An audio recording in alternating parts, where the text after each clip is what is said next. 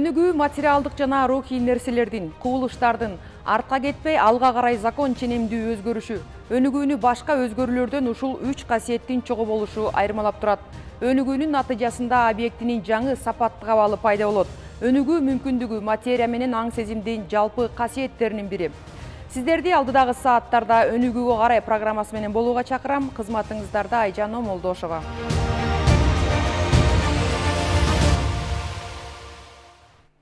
Кыргызстан агрардык өлкө.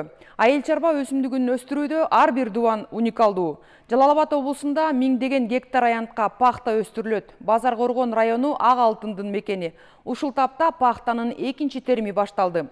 Машхур курбанов быйыл мээнет акталат деп үмүт артууда анткени алтын баасы өткөн жылга салыштырмалуу жогору дыйкан жыл сайын бир гектар аянтка пахта өстүрөт быйыл түшүмү мол болгон ак алтындын түйшүгү менен түшүмү тууралуу кийинки сюжетте. Базар коргон чыныгы мээнеткеч дыйкандардын мекени. Аймакта пахта өстүргөндөр арбын быйыл район боюнча үч миң гектарга жакын пахта аянты эгилген. Ушул тапта дыйкандар түшүмдү жыйнап алуу менен алек болуп жатышат. Биз жаштыгыбыздан эгилет ата бабабыздан эгилип келген. Машхур курбанов жыл сайын бир гектар аянтка пахта өстүрөт. Айтымында түшүм өткөн жылдагыдан жакшы. Он күн мурда биринчи терими болуп үч тонна ак алтын жыйналды. Азыр эми экинчи терими башталды. Эми дыйканчылыгыбыз ушу пахта менен болот мектепте окуп жүргөндөн бери эми ушу жашка келге чейин ушу пахта терип чоңоюп атабыз мына ушу пахтанын аркасынан дыйканчылыгыбыз ушу да эми мына экинчи терим баштадык бир жарым тоннанын тегерегинде чыгып калат да машхур өстүргөн пахтанын сорту кыргыз беш деп аталат бул сорттун өзгөчөлүгү салмактуу болуп курт анча түшө бербейт башка сорттогу пахталардай сууну да көп талап кылбайт кургакчылыкка чыдамдуу келет. Каарманыбыз белгилегендей пахтаны өстүрүү оңой эмес. Түйшүгү оор. Эрте жаздан тартып чоң эмгек талап кылат. Суусун убагында коюп дарысын берип чабыгын чаап чөбүн отош керек. Кароо өз убагында болгондо гана түшүм мол болот. Заводдон алабыз. Анан жетимиш сексенден берилет. Чигитин. Анан шор көң салабыз. Биз өзүбүз айылда жашап эме болгонубуз үчүн көң салып жылда айдоодон мурда козопаяны тергенден кийин анан көң салып көң чачып эме кылабыз ошон үчүн пахталар жакшы ак алтынды өстүрүү өзүнчө түйшүк болсо түшүмдү жыйнап алууга да чоң мээнет кетет күнү бою эңкейип терип куржун белден түшпөйт тынбай иштеген киши бир күндө жүз килограммга чейин терет машкур курбановдун негизги жардамчылары жубайы менен эки кызы тергенде дагы мунун мээнети күч болот анан мына кургап калган эмелер мына колго эме кылып сайылып кирип кетет ошон үчүн мындай чанактарга перчатка тагып алабыз. Перчатка тагып алып иштейбиз этекке бир он килонун тегерегинде батат сегиз кило. Эми алып барып таразага тартып килограмм чыгыш керек баардык неменин барып тагып тоюп коебуз мына кызым болот. кыздарым менен үй бүлөбүз менен иштейбиз кызым дагы эртеден бери он алты кило пахта терди чоң кызым анын ар жакта терип атат пахтабызды тартып килограммын чыгарып коебуз он кило экен курбановдордун үй бүлөсү пахтаны өздөрү жыйнап алууга күчү жетпейт айылдан теримчи жалдашат учурда онго жакын жумушчу талаада иштеп жатат терим беш сомдон башталды Hazır birinci terim 5 som oldu. Hem azmine ikinci terimi 6 somdan başladı. Hazır 10 çaktı nime var. Yumuşçu var. Bir günde meni şu 80-90 teremin deyip ki e, kevrik gecelerimiz var. Alar şu 130 ha, жүз жыйырма кылып теришет алар бир күндө ошо төрт жүз элүү төрт жүз жыйырма ошондой акчага иштейм дыйкандын айтымында быйыл ак алтын баасы өткөн жылга салыштырмалуу жогору былтыр пахтанын эң жогорку наркы кырк беш сомго араң чыкса быйыл азыр эле кырк төрт сомду түзүүдө машкур жыйнаган түшүмүн түз эле заводко тапшырууда акчасын баа жогорулаганда алам дейт быйыл жакшы пахта көтөрүлүп атат алтымыш жетимиш болот деген эмеси бар. Жылына бир гектар жерден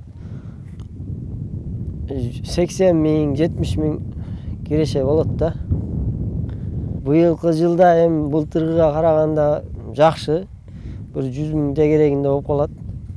Быйыл кирешени малхана кылып атам. Чарба чарба мененбиз ошо малхана кылып ичине кое алып беш он кое алып таштап коеюн деп атам. Учурда базар коргон району боюнча онго жакын завод пахта кабыл алууда. Көпчүлүк дыйкандар өндүргөн ак алтын буласын талаадан түзө эле заводко тапшырып жатса үйүнө жыйнап отургандар да жок эмес. Алар баанын көтөрүлүшүн күтүшүүдө жалал абад облусу боюнча быйыл он эки миң бир жүз отуз алты гектар аянтка пахта эгилген эң көп аянт базар коргон менен нокен районунда. Осмон уламсадыр уулу алмаз сатаров ала тоо жыйырма төрт жалал абад облусу Жай мезгилинде жүргөн үшүккө карабай Кемин районунда быйыл картошканын түшүмү мол. Мындай жыйынтыкты алдын ала божомолдошкон дыйкандар быйыл картошканын аянттарын көбөйткөн болчу. Жалпы жонунан 1000 гектарга чукул картошка эккен дыйкандардын катарын Шабдан айылынын тургуну Жаныбек Турсуналиев толуктайт. Дыйканчылыкты үй бүлөсү болуп чогуу түптөп келаткан каарманыбыз түшүм жакшы болгондо жылына 500 миңге жакын сомго чейин киреше табат. Чүй боорундагы дыйкандардын түшүм жыйноо өнөктүгүнө биздин чыгармачыл топ барып келдик. Быйылкы тукумубуз жаңы болгондуктун себебинен ушул каршы көбөстүн баары эле жакшы чыгып атат буюрса Бала чагынан атасы менен картошка талаасында жүрүп, аны өстүрүүнүн ыкмасын жана мол түшүм алуунун сырын мыкты билген Жаныбек өзү бала чакалуу болгондо деле кирешелүү эмгекти таштай алган жок.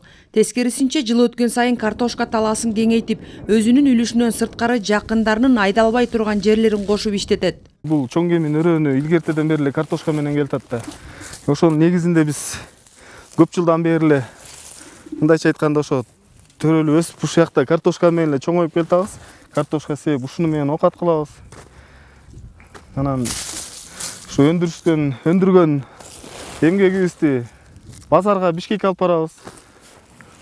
Бияка келет перекупщиктер анан ошо ошону менен оокат кылып биякта бүт эле элибиздин баары ушул картошка менен эле основной мал картошка. Анча эле эмгекти талап кылбаган, бирок кирешелүү өсүмдүк улам жаңылап жер которгонду жана сууну жакшы көрөт. Анын үстүнө картошка багуунун заманбап ыкмаларын окуп үйрөнүп, жыл сайын мол түшүм алуунун эрежесин бузбай сактап келаткан баба дыйкан зыянкечтер менен кадимкидей күрөшөт. азыркы убакта заманбап нерселер көп эмеспи азыркы бүт э, дарылар бар алдын ала дарылайбыз Э, карышка өсүп калгандан кийин да дарылайбыз ошол основной э, жуктар бар жукка каршы да негизи эң биринчиси эле.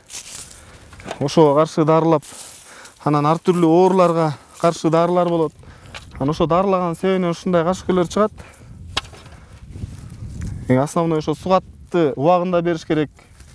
Бул картошка негизи сууну жакшы көрөт өзүңөргө белгилүү жерди жакшы кылыш керек жакшы жерлерге себиш керек бизде көбүнчө беде жерлерди бузабыз Дыйкан кирешөлүү бизнести үй бүлөсү болуп чогуу түптөп келет. Өзгөчө түшүм жыйноого келгенде баарлай калбаса, суук түшүп, кар астында калса, болгон мээнет текке кетет. Уулу улан мындайда досторун чакырып, эрте күздө жыйнап алууга жардамдашат.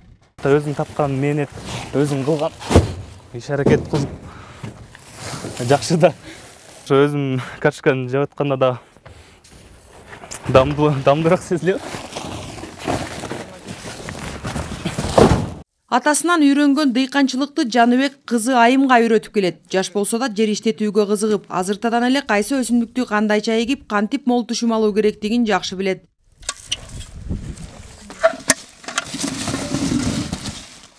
кадимкидей эле карайсың жерди неметип жумшак жумшартасың анан э, толтура толтура неме керек да бугачы внимание картошкага керек экен да.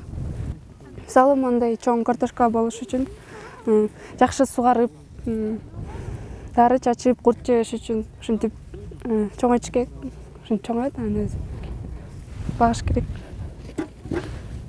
Маңдай тер чачкан эмгек эч качан текке кетпейт. Дал ушундай эрежени карманган Жаныбектин үй бүлөсү жакшы түшүм болгондо 500 миңге чейин киреше табат.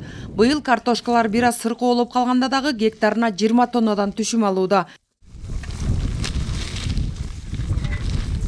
балдарыбыз окуп чыгарган мынакей жаңы окууларын бүтүп тапшырып атат ошолорго контракттарына жарайт И жана ошондой эле өзүбүздүн тиричилигибизге кенен жетет Э, андан тышкары ушуну менен баягы эми баягы өзүбүздө айылда жүргүзгөн стройкаларыбыз бар. Ошонун баарына эле ушул картошка аркылуу эле. Жаныбек аганын картошкасынын түшүмү быйыл жылдага караганда өтө мол болуптур мунун сырын болсо дыйкан быйылкы картошканын үрөнүнө жаңы сорт пикасо деген сорттун кошкону менен түшүндүрүүдө. Мисалы мен бул колумдагы чакадагы картошкалар болгону эки түп картошкадан чыккан болжол менен азыр салмактап көрсөк бир он бир он эки килограммга чыгат. Ал эми өзүңүздөр көрүп тургандай бул эң чоң деген картошканын чакадагын тартып көрөлүк айыл жеринде эми таразадагы жок болжол менен алып караганда эң чоң делген картошка бир килограммга чыгат. Дыйкандар ушул тапта талаадан он сомдон жогору болуп жаткан картошканын баасы жаз келгенде дагы көтөрүлөт деп үмүт артып жатышат. Бирок ага жеткирбей эле мүмкүнчүлүктөрүнө жараша талаа жеринен эле баалап сатып жибергендер да бар быйыл картошка нормальный болуп турат да где то бир жыйырма тогуз жыйырма беш жыйырма жыйырма беш сомдон чыгыштай болуп турат ошо анан эми келгенде бияктан бияктан алып кетишет ушул жерден да сорттоп беребиз анан өздөрү алып кетишет мен бишкекке же россияга алып барыш үчүн мен анчалык менин мүмкүнчүлүгүм жок ушул жерден эле берген мага оң болуп атат да. Демейде кеминдин картошкалары ички рыноктон сырткары казакстан жана россияга экспорттолот. Дыйкандарга жеңил болсун деп жергиликтүү бийлик айрым учурда картошканын дүңүнөн сатып алууга сүйлөшүүлөрдү жүргүзүп берет. Бирок мээнет дыйкандыкы болгондуктан баасы күзүндө келишпей калса жазга чейин сактап турат. Айжан омолдошова руслан сабатаров ала тоо жыйырма төрт ноокаттык багбан көп жылдар бою каралбай калган таштак жерди өз дарамети менен жашыл бакка айлантты. Норвегиянын жемиш багын элестеткен он беш гектардагы алма бак быйыл алгачкы түшүмүн берди аны терүүгө айылдын тургундары тартылды. Башкага үлгү болчу каарманыбыз ийгилигинин сырлары менен биздин аймактагы кабарчыбызга бөлүштү кандайдыр бир ийгиликке жетүү үчүн сөзсүз эле чет жерде эмес өзү туулуп өскөн айылында да жетүүгө мүмкүн болоорун далилдеген ийгиликтүү мекендештерибиз туурасында берүүлөрдүн түрмөгүн улантабыз. Бирди эки экини төрт кылгандардын бири ноокаттык абдулазиз маматов. Тургун көп жылдар бою кароосуз калган таштак жерди эки жылдын аралыгында жашыл бакка айланткан. Айдар эттеп коет. Жети катарга бирден опылитель катары эгилген алмалар да булар абдулазиз маматовдун кесиби мугалим эс алууга чыккандан кийин багбанчылыкты колго алган. Өткөн жылы эрте жазда жыйырма беш миңден ашык алма көчөтүнүн төрт түрүн отургузган таштак жерге берекелүү жашылуун киргизүү үчүн айыл чарбасын каржылоо жети долбоорунан төрт жүз отуз миң акш доллары суммасында насыя алган.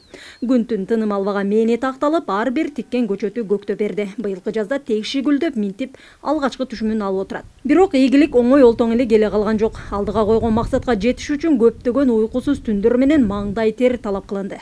Эшиктин астына бир үч түп төрт түп алма эгип койсоң канча забота керек ошого а бул жерде жыйырма беш миң түп көчөт жатат а бул көчөттөрдүн ар бирин жаш баладай эле караш керек экен ар биринин астында суу тамчылап атабы астына от чыгып калдыбы ушундай көп көп көп мээнеттер керек экен да.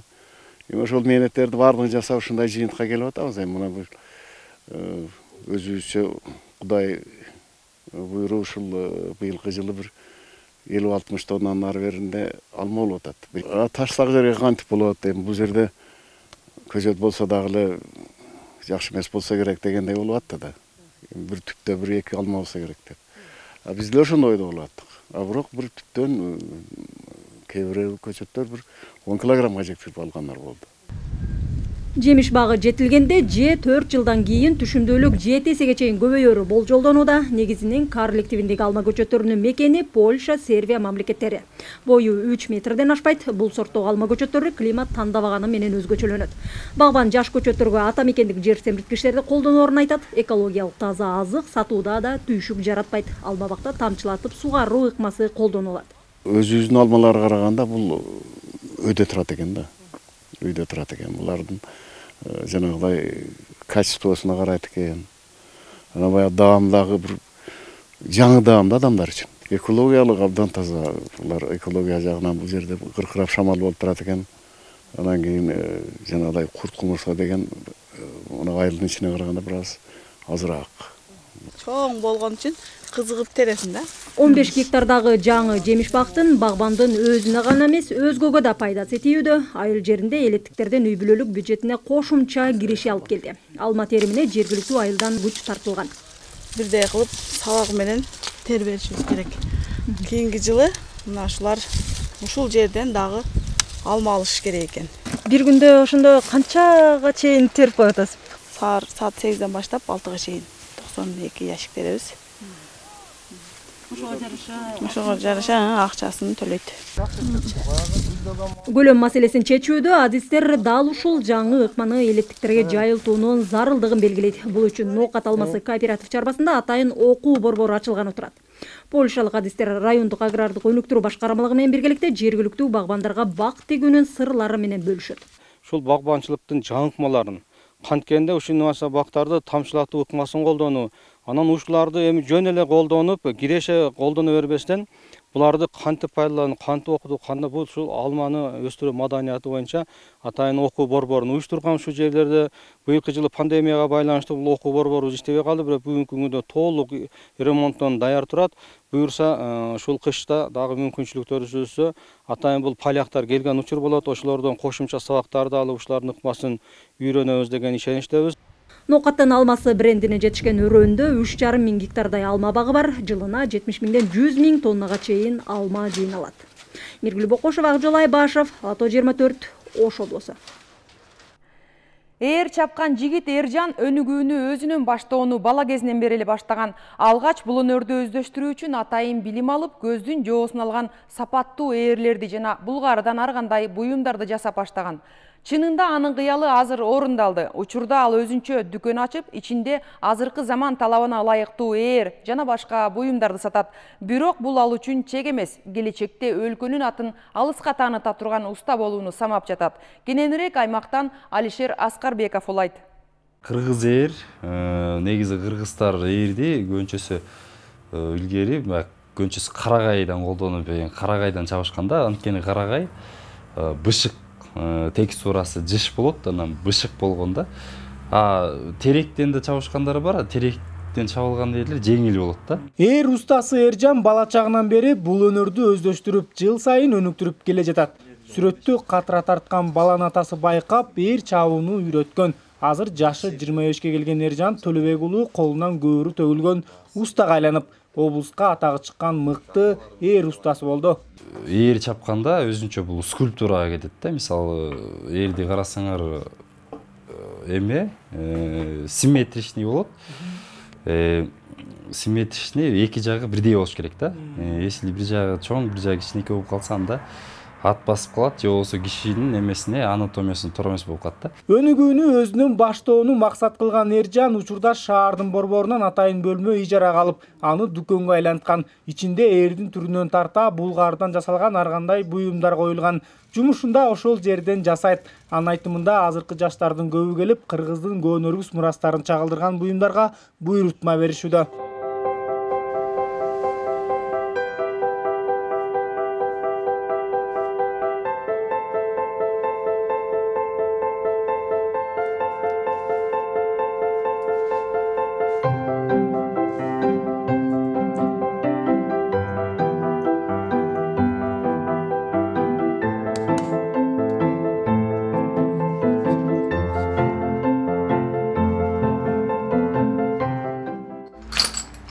келечекке кадамын кенен таштаган эржан төлөбек уулу өнөрүн дагы да өстүрүп анын колунан чыккан буюмдарды дүйнөгө алып чыгуу максаты бар. Ал үчүн биринчи чакан ишкана ачып жумушчу орундар менен камсыз кылуу керек дейт уста. Анын кыялы четинен орун алып жакында долбоор жазып гранттык негизде жаңы жабдыктарды алды. Бул устанын биринчи кадамы.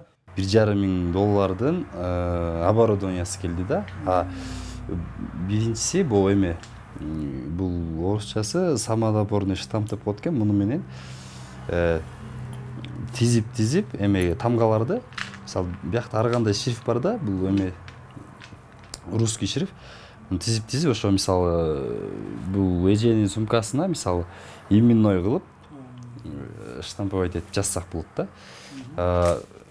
Андан кийинкиси бул кожа жукарткыч э, машинка Э, бул болсо алтымыш миң сомго келди. Ошо бул да проект менен эржандын эң кымбат ээри жүз элүү миң сомго чейин бааланат. Анын жасалгасын жана көркөмүн өзү ойлоп таап кардардын көңүлүн калтырбаган сапаттуу ээрди жасоого күнү түнү аракетин аябайт. Эң негизгиси өлкөнү аз болсо да өнүгүшүнө салымын кошконго айласын таап жаркын келечекти түзгүсү келет.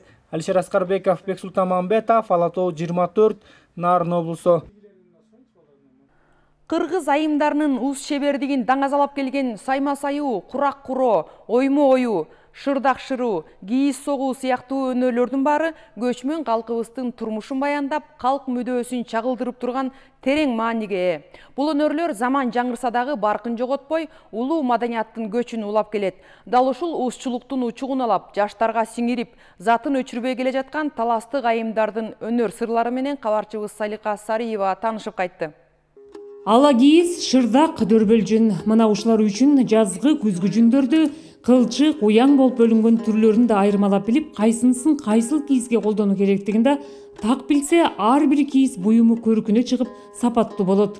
Дал ушул жүндөрдү таануу боюнча сабира турдумамбетованын тажрыйбасы мол. Бир чили бир чили кылып кара кийизди өзүнчө ак кийизди өзүнчө ичинен чыгарып алабыз да. Анан айтып атпаймынбы бул жалаң малыш болсо кирбейт кыргыз жүн болуш керек да буга. Жазгы э, жүн болбойт эми жазгы жүнү бир аз кошсо болот бирок күзгү жүн жакшы. Күзгү жүн мына моундай болуп аябай катуу болуп өзүнүн качествосун эч убакта жоготпойт да бул өтө чыдамдуу болот. Канча жылга чейин жатат да бул? Каарманыбыз талас шаарынын тургуну. Жүндөн буюм жасоону бала күнүнөн тайэнесинен үйрөнгөн. Жүндү илгертен калган ыкма менен боебой ак кара түсүн келтире мына мындай жаңы формаларын дагы жасап жүрөт. Ошондой эле түстөрүн ар түр кылып боеп жасаган шырдыктары дарбын ак эле кийиз ак да акты ошондо жашылга боеп кызылга боеп сарыга боеп түрүн келтирип туруп анан кийин.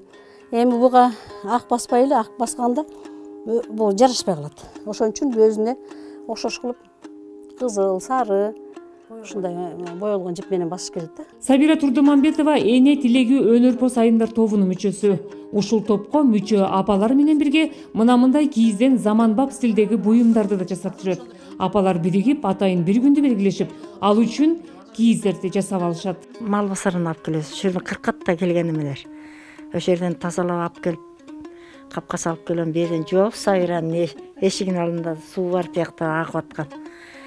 Ошол жерден тазалап жуабыз. Анан ар кимибиз колубуздан эме баарыбыз эле жасайбыз анан. Мен болсо жин үйүрүп моундай ыскыктарын эметип берем сайра баарыбизди команда кылып жүрөт ошо эме кылып бирибиздин билбегенибизди бирибиз билип бири бирибизге үйрөтүп. Бул мындай болот бул мындай болот. Анан көпчүлүгүн биз ортодон жашайбыз. Ортодон жасалган нерсе аябай сапаттуу да жакшы да анан өзүбүздүн оюбузга да туура келип неметет да? Жакшы иштер аткарылат. Мунун бирөөндө да мындай эриш жип жок. Бул жалаң эле мулина жип сабира эже кийиз эле эмес саймалардын түрлөрүн да жакшы өздөштүргөн мисалы бул туш кийиз бала күнүндө сайылган тырмак асты эмгеги буюмдардын арасында таарлар дагы бар. Азыр өрмөгүн кармай элек. Ошентсе да өрмөккө соккон мындай таарларын аздектеп сактап жүрөт. Бул да пахтадан ийрилген мына ушул чачыктын өзү мына ушул чачыктын өзү кандай мээнет менен жасалган? Бул магазинден сатылган чачык эмес. Мунун өзүнүн бүтүш турушу бир жетимиш жылы чапчыт болуш керек. Бул э, көйнөгүмө ушу он бир носки кеткен да. Носкини носкини согуп неметип сөгүп э, балдарым да жанын койбойм отуруп салып телевизор тиктеп отурса деген муну түргүлө деп өзүм урсам балам ажырат ажырат берем алар башта толуктап түрүшөт да баягы жасаган киши оңой эле. Анан мындай карап отурсаң кыйын да муну кандай кылып жасап эми буга неме керек экен? Калып керек экен.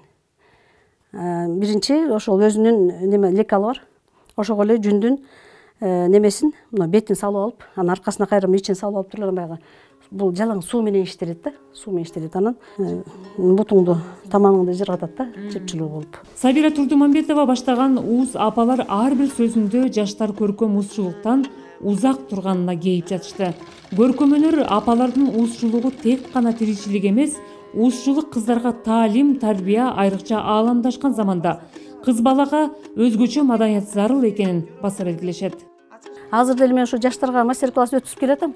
Бул жүн каяктан келди койду билет эми койду билет бирок ошодон ушул нерселердин бүт баардыгы э, алынат экенсин билбейт да. Эки сааттан ашыгыраак отурсаң мына бир үйүн бүтүп кетесиң да. А могу чекелер буларды жасаш тим эле бизге оюнчуктай эле ал убакта дубалга эле сүйөп коюп коесуң улам чуркап келип эле. Сайып кайра башка тамак ашыңды жасайсың сабагыңды даярдайсың эбак жаштыктан алыстаган апалар үчүн үй бүлөдөгү бала небере жыргалы бир тең болсо топтошуп минтип көркөм өнөрдү аздектөө өнүктүрүү рахаты бир тең дешет себеби кыргыз апалары калтырган көркөм мурасты милдет катары учугун улантып келе жаткандарына бул апалар сыймыктанышат. Шайыр менен. Салика сариева нурлан иманалиев ала тоо жыйырма төрт талас облусу. başında kirli tırdağı алыскы баткен облусунда улуттук аспаптарда кол ойноткон карим дыйканов комузду чапкан мыкты уста дагы. Ушул күнгө чейин ал төрт жүздөй комуз чаап буйрутма менен иштейт. Музыкага болгон ышкысы менен комуз чапканды үйрөнгөн каарманыбыздын колунан жаралган үч кыл комузду сатып алуу үчүн ош. Жалал абад облустарынан жада калса орусиядан бери келип алып кетишкен. Адегенде өзү үчүн кийин буйрутмага комуз чапкан устанын өнөрканасында биздин аймактык кабарчыбыз дагы болду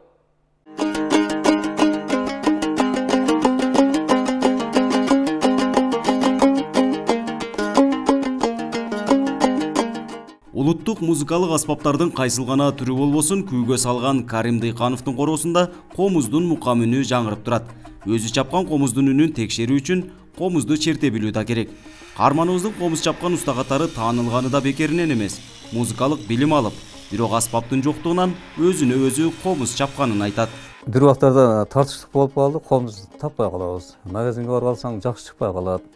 Анан ошондон өзүм кызыгып жүрүп анан мектепте иштеп жүргөндө баштап бир комуз жасадым эми эл жасаганда биз эле жасайбыз го деген ой болду анан кичине жөндөмү бар окшойт секин секин аракет кылып анан бирди жасадым аны көргөндөн кийин бирөөлөр айтып дагы жасап бер деп ушинтип отуруп анан бир жолу киришип жүрүп алдым да уста комузду негизинен өрүктөн чабат баткен өрүктүн мекени болгондуктан усталарга жыгач тандоо жана аны даярдоо көп деле түйшүк жаратпайт ошондой болсо да өрүк жыгачынын катуулугу анын түрүнө байланыштуу болуп комуздун добушуна да таасири бар. Ак өрүктүкүн бир аз калдыңыраак оюшубуз керек. Кандек өрүктүкүн бир аз жука оюшубуз керек. Ушундай бир өзгөчөлүктөр бар. Андан сырткары мынаны угуп көрүшүбүз керек да бул кандай болгондо үн берет мисалы. Ошондо уга билишибиз керек.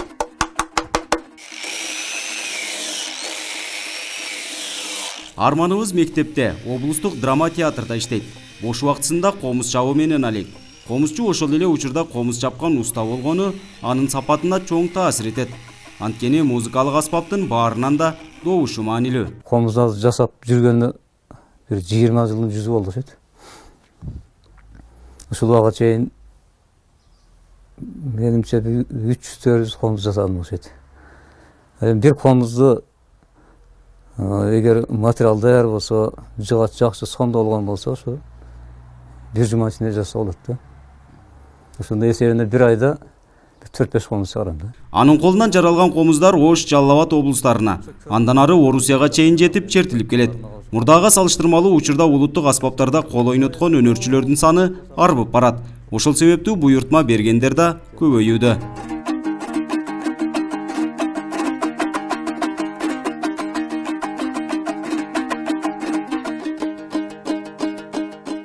азыркы учурда кудайга шүгүр өзүбүздөн көптөгөн кадрлар чыкты мугалимдер бар алып азыркы жаш балдар комузга кызыгып окуп аткандар өтө көп болуп калды андан сырткары эми комуздун мурдагы мүмкүнчүлүктөргө караганда азыркы жаштар көптөгөн мүмкүнчүлүктөрүн ачып чыгарып атышат мындай айтканда жөн гана кыргыздын гана күйлөрүн эмес азыркы учурда дүйнөлүк чыгармаларды ойносо болот эстрадалык багыттагы чыгармаларды ойносо болот ушуларды көрүп азыркы жаштар көп кызыгып атат каарманыбыз комуз гана эмес улуттук аспаптардан кылкыяк чопо чоорду да жасайт мындан сырткары эскирип калган аспаптарга кайрадан жаңы жашоо тартуулап оңдоп да келет нургазы жайнаков рысбек мазаит уулу ала тоо жыйырма төрт баткен облусу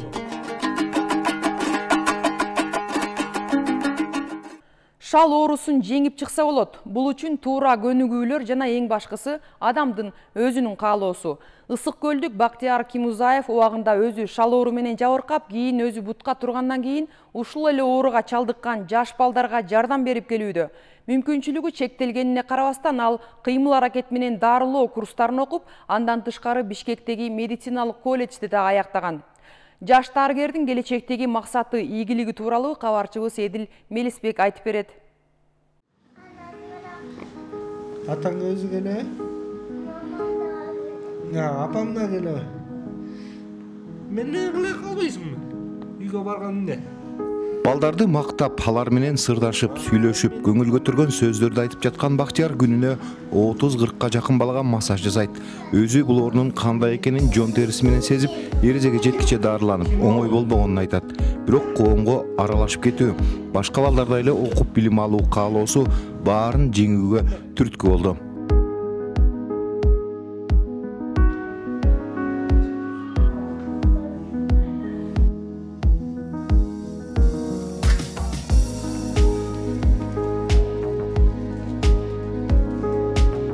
дунган улутундагы жыйырма жети жаштагы бактияр туу баса шал оорусунан жүз пайыз айыгып кеткен жок бирок чоң атасы өлкөнүн он сегиз жылдык аракети менен басып эл катары жүрөт азыр бактияр балдардын шал оорусун физикалык көнүгүүлөр кыймыл аракети менен даарылаган ак суу реабилитациялоо борборунун кызматкери мен негизи өзүм кичинекей кезимден лечение алчумун могу жактанчы сегиз айдан бери жүрөм могу ак суудан ошондон лечение алып эми жакшы болуп калдым будка дагы туруп калдым басып калдым анан моундай балдарды көрүп алып эле бирдеме мондай жумушка кириш керек массаж деп.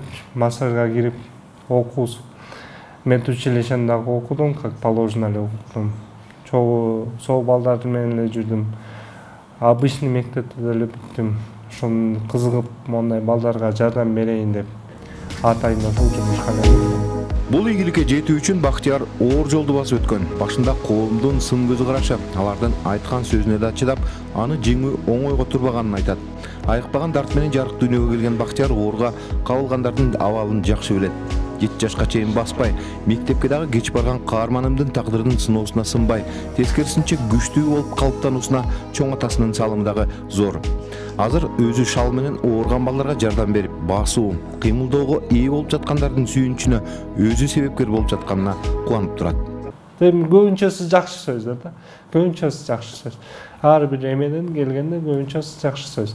Мына менин балам отуруп калды менин балам басып калды дегендей толтура болуп атат да улам сайын келип атат ошолор келгенде мына могу чоң кыз мисалы келип атат он төрт жол келип атат он төрт жылдын ичинде бул жети жылда жети жыл болду да келатканы бир жылда эки жолу келчү мындай ата энелердин бири айнура иликбаева баласынын айыгып кетүүсүнө чоң аракет кылып бактиярдын ишине ыраазы лфкны ошо бактияр жасайт бизге азыр жакшы эффект уже басайын деп калды даяр болуп калдык басканга аябай эле жакшы бүт мындай точный да жасайт беттеринен үйдө уже сүйлөп да калдык уже жакшы бактиярды негизи бала чагынан эле билебиз чогуу башында чогуу жатчубуз андан кийин уже лфк жасап калды ошо аябай ыраазыбыз мына өзүнө окшогон балдардын канчасын тургузуп жүрөт азыр биз балдарга пример келтирем да мен мисалы үчүн ай мына убагында могу бала силердикинен оор эле мына карачы эмнеге жетишти ошондуктан жалкоо болбойлу бул ооруну канча өзүбүз аракет кылсак ошончо жылыш болот ошончо результат болот бул балага биз кийин андан кийин эми болду сен окудуң иштедиң жакшынакай сотрудниксиң сага үй бүлө керек деп эми жакшынакай үй бүлө болушуң керек деп атып жакында үйлөндү керек болсо жакында мына ата да болгону турат биз бактияр менен сыймыктанабыз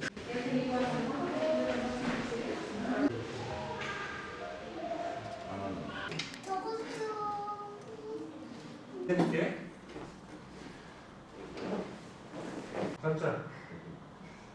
깜짝. 이기. 나도 좀. 나도 좀 해. 알아?